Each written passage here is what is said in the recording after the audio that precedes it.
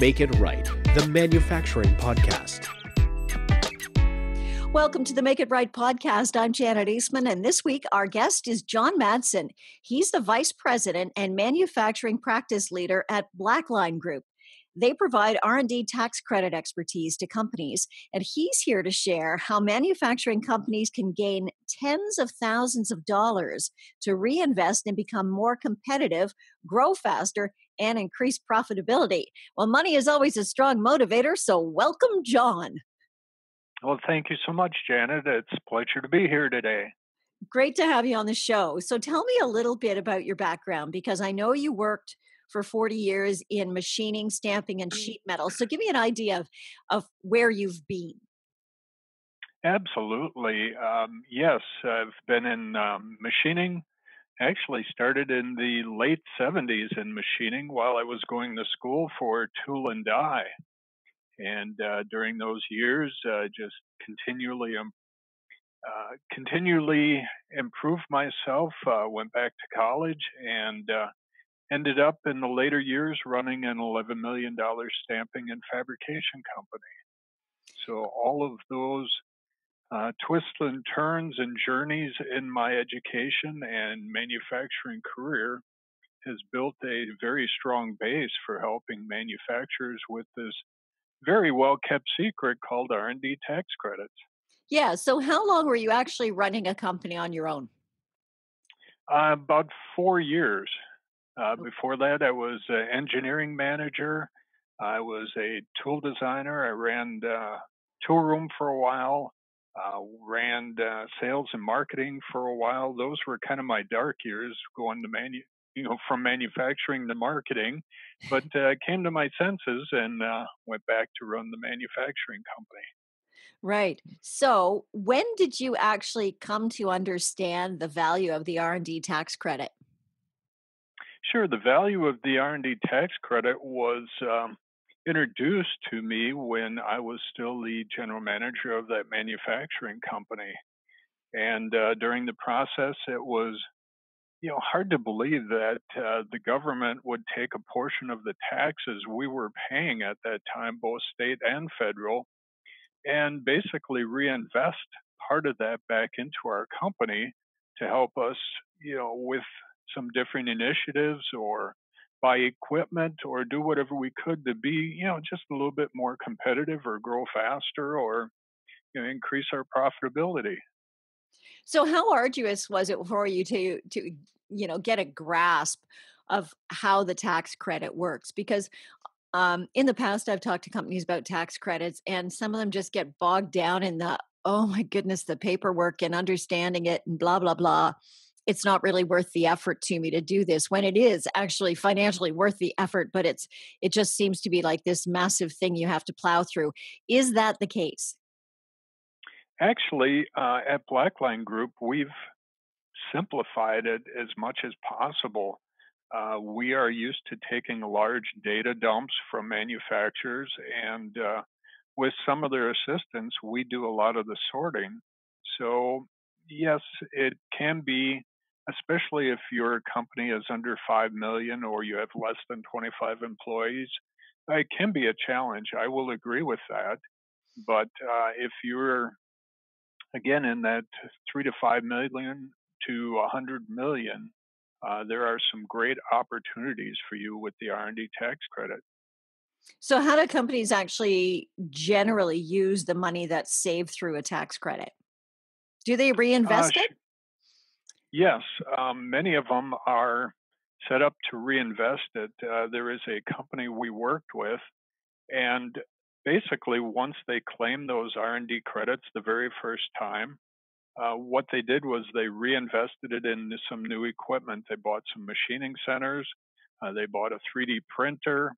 Uh, they bought another company that was similar to their size. So they reinvested in in those opportunities, and in turn, what that did was basically uh, improve their efficiencies you know, especially with uh, the new equipment purchases. When, in fact, the employees started seeing new equipment come into their shops, there was you know, a sense of a buzz, just a little bit more excitement on the shop floor and throughout the company. And even with that 3D printer, the the manufacturer now was developing new products much, much quicker, which allowed them to acquire new customers, which allowed them to hire more employees, which gave them a much larger R&D tax credit. So that's kind of the, the, the picture of the cycle that I see occurring in many, many manufacturing companies. How long does this actually take when you talk about, okay, so they started getting the tax credit, and then you mentioned, okay, so one day they're able to actually buy another company. They couldn't have done that with one year's tax credit, could they? Uh, actually, it was a small company, and yes, they did. Wow. So okay. we are seeing in some cases, um, you know, like when you start talking about the true tax credit benefit, uh, I've helped a company that was uh, sheet metal manufacturer making custom products. They were about 11 million in revenue, and through this process, they were able to amend or go back three years, which is standard practice for somebody that has not used the R&D tax credit. So again, 11 million in revenue, and we found them 1.3 million that they were able to use. Uh, that particular company bought a uh, press and a brake press and put a substantial amount of that money away for kind of a rainy day. So this is, you know, truly more than just pennies. There's, you know, opportunities for companies to really get some some great benefits to improve their company. Mm-hmm. So, are they actually re- reinvesting uh, to make the improvements? Are they moving into Industry 4.0 and things like that? Uh, yes, yes. They're they're you know some of these companies have used equipment or out of date equipment.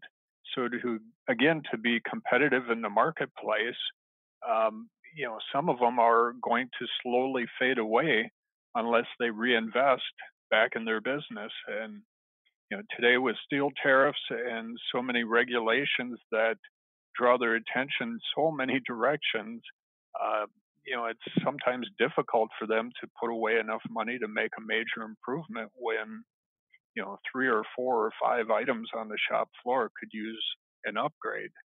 Mm-hmm. This is that shot in the arm or that boost that gives them uh, a little bit of a leap forward to uh, make those investments. Yeah. You're talking about the company that actually went out and bought a 3D printer. Have you seen a company, you know, when they first started using the tax credit they had these type of products and then as they used the tax credit and evolved have you seen them move completely away from their old way of doing business into a completely new stream of business that has transformed them because their industry actually needed to change? Uh, actually yes. They're uh, there's a small case study that we talk about, and it's a company that uh, was started by this particular gentleman's father. And I know a, a, lot of the generations that may be listening will not understand this, and I apologize. But back in the day, there used to be outdoor theaters, and this company manufactured the speaker that you would take off the post and actually hang on on the inside of your car on the window. I remember That's that, where, John. Those were the days, baby. Those were the days. Well, anyhow, you know, if they'd have stayed in that generation and stayed with that product line, you know, clearly they would be obsolete. So using the R&D tax credit, they are now building uh, unique sound systems for uh, very expensive homes, theater rooms, and things of that nature. So one of the companies that uh, that they purchased was a sound testing company. So what they're doing now is they're able to go in, for example, if a church is putting in a new sound system or an auditorium uh, type system or a school, you know, of that nature, they're able to bring this testing equipment in, dial it right into what exactly would be needed for everyone in the auditorium to hear clearly and they go back and manufacture it. So uh, I guess that could be an example of how the R&D credits has, have helped that company basically transform and stay current with technology. That's amazing. I mean, they're a totally different company now.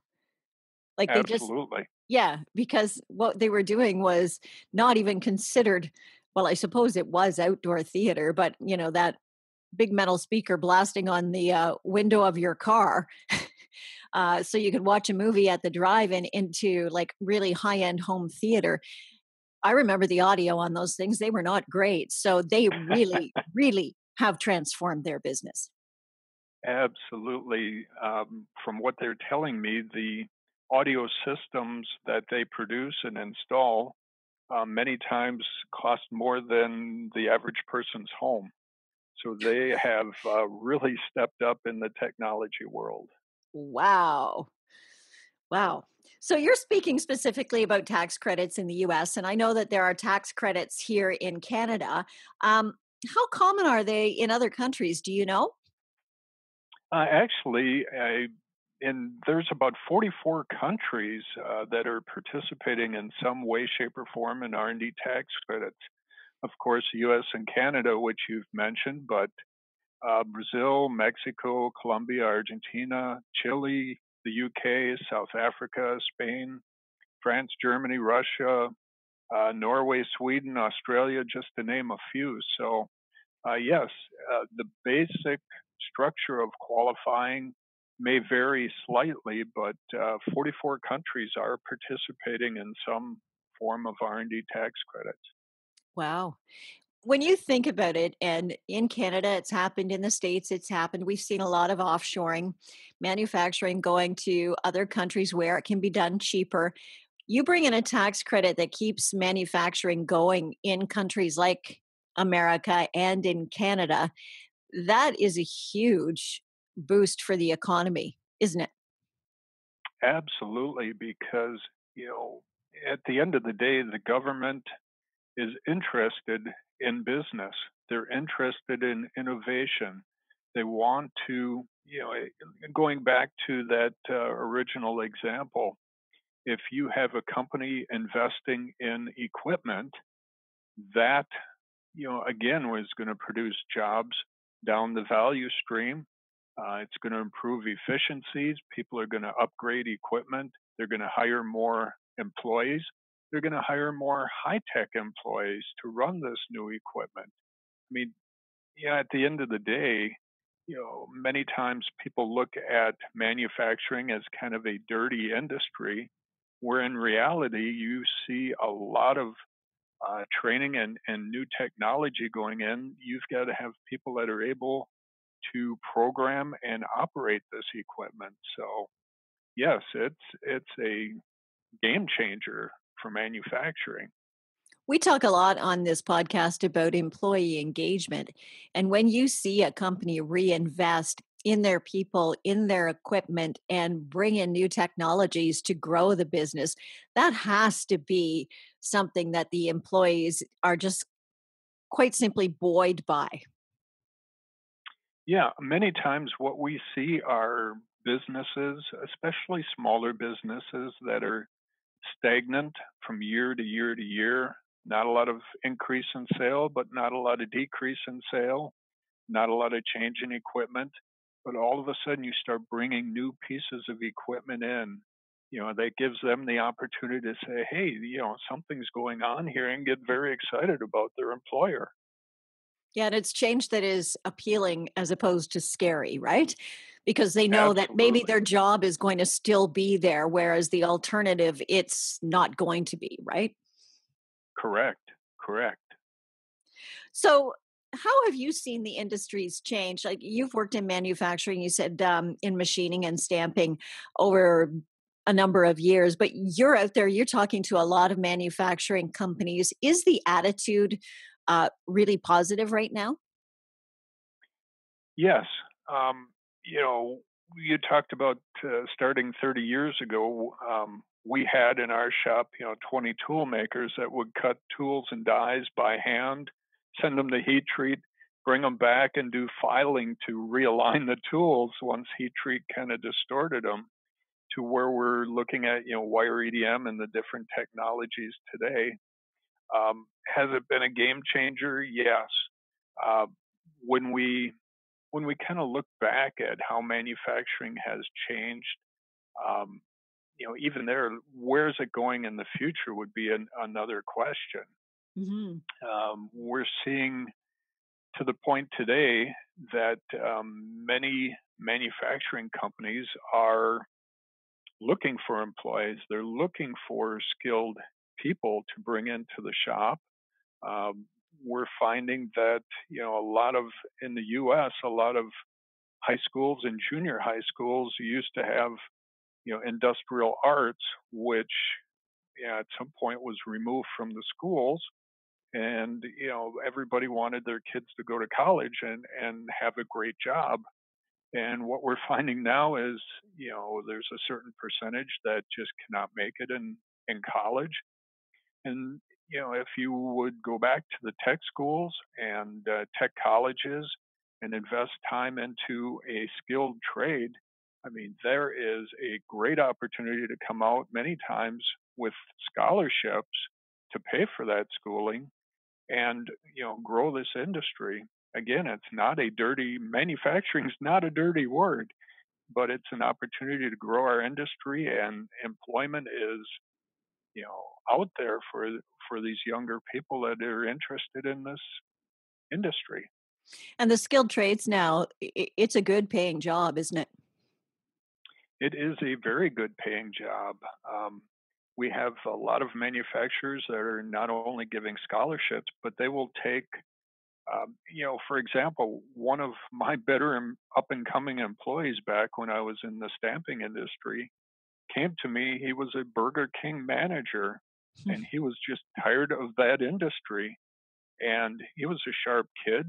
We brought him in for kind of that GL or, or general labor area, and he progressed his way up to programming and running a turret press. Wow. Wow. so manufacturing in America is not dead and uh, it's just that people have to change their attitudes towards that industry and realize the the opportunity that is there. Absolutely. I think mike pence uh, back in april said there's like 12.4 million americans that that work in the manufacturing industry. So you know just the opposite there's a shortage of workers especially in these small manufacturing companies. So if we had uh, the opportunity to encourage uh, younger younger people to at least explore that option, uh, the employment is available for them. Automation is a great field to get into. Hmm. And ultimately, I guess when you you look at these R and D tax credits, which is what we started talking about in the first place, if people start using those, they can see the cash that can be generated from those tax credits and begin transforming their businesses. Absolutely. With the R&D tax credit, uh, what we typically do is provide all of the information, the forms, help the client, and kind of be the liaison to their CPA. We're not here to replace their CPA, but help them through the process. And at the end of the day, you know, if a client, yeah, I'm just going to pick numbers out of the air, owed $50,000 at the end of the year in taxes, and we provided the documentation that said, you know, they earned 60,000 in R&D credits. Their tax bill for that particular year would be zero, and the additional 10,000 would roll forward into next year. Uh, this could roll forward, at least in the US, for up to 20 years. So you won't lose that opportunity, but again, it's almost an instant credit. So the money that these manufacturers were accruing for at the end of the year to pay taxes, now they can use that money to reinvest at some other place. Wow. That's excellent. And I think there's a, a brilliant opportunity for manufacturing in America. John, I really appreciate the time you've taken to talk to us on the Make It Right podcast. Uh, very interesting. I'm sure you'll find that uh, people will be investigating the R&D tax credits uh, in the future. Thanks very much for talking to us. Thank you for your time.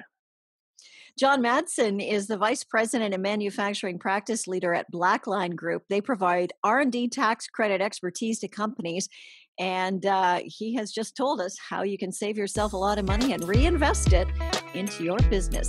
Thanks very much, everyone, for listening to the Make It Right podcast. Uh, we'll um, be here again next week.